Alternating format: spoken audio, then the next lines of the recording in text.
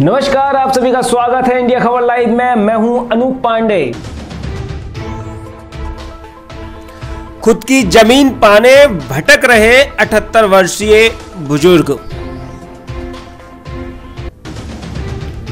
संभागायुक्त से लगाई न्याय की गुहार।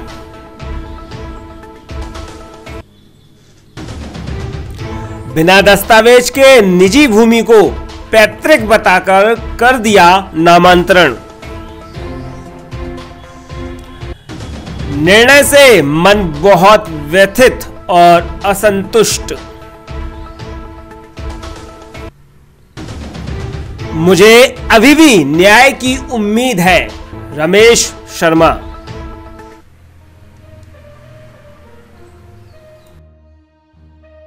जी हाँ नगर के एक 78 वर्षीय बुज़ुर्ग जो खुद पैसे से वकील भी रहे हैं, वह न्याय के लिए दरबदर की ठोकर खा रहे हैं। पूरा मामला यह है कि पीड़ित वृद्ध ने क्षेत्र के पठारी वसोदा ग्राम में सर्वे नंबर 117 में प्रभा देवी भवसार से ज़मीन खरीदी थी।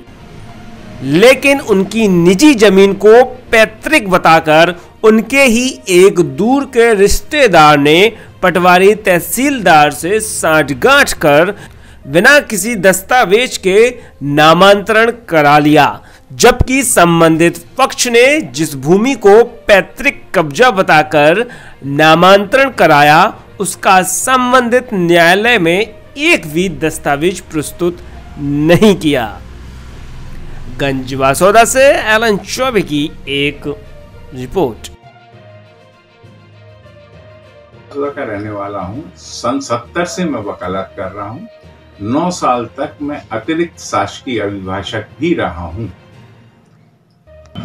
यदि न्याय करने वाला अधिकारी प्रोजिडिस नहीं है तो ये सुव्यवस्थित सिद्धांत है कि 110 की में दिए गए नियम 27 एवं 178 में दिए गए नियम दो, तीन छः और नौ का पालन होना आवश्यक है।